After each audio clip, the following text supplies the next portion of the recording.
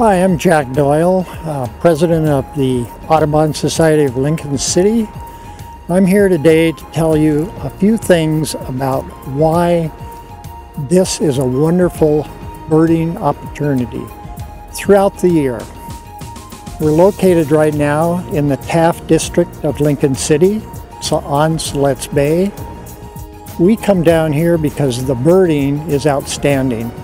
Some of the best birding in the state can be found in this location because we have not only shorebirds and migratory birds, especially this time of the year, but also wonderful songbirds of various types throughout the year.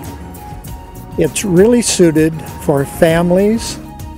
We have a resident pair of eagles behind me that are year-round and have been here for many, many years.